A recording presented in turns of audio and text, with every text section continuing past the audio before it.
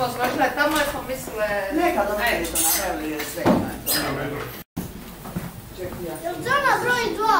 Ko voli meni? Ti ćeš čitati, ona će pročitati nešto pa Legenda o svetom Ambroziju. Sveti Ambrozije je zaštitnik pčela i pčelara. Uz njegovo ime veže se legenda koja govori kako se Sveti Ambrozije kao dijete teško razbolio i dok je bespomoćno ležao u koljeci na njegovo se lice spustio roj pčela koji je poput melema ostavio malo meda oko njegovih usana.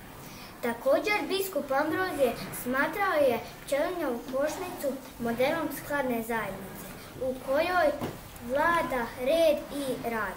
To je, te je vjerovao kako pčele predstavljaju sve što je uređeno, pobožno, uzvišeno i sveto.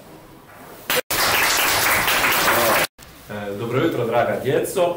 E, Moje ime je Josip Jurić i dolazim iz Gradske uprave grada Šibenika. Ovo je moja pročelnica, gospođa Mirjana Žurić.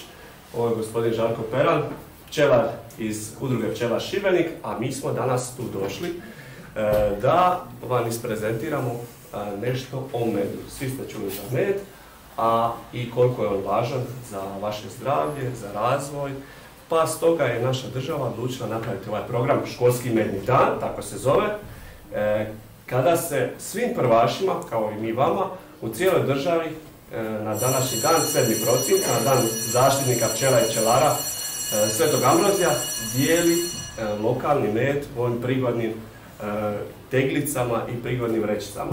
E, Jednako tako, pčele koje proizvode med su jako važne za bioraznolikost, obitelji, vašim roditeljima, vaše braći i sestrama, koliko ih imate, i da ćemo svi skupa kao društvo e, još više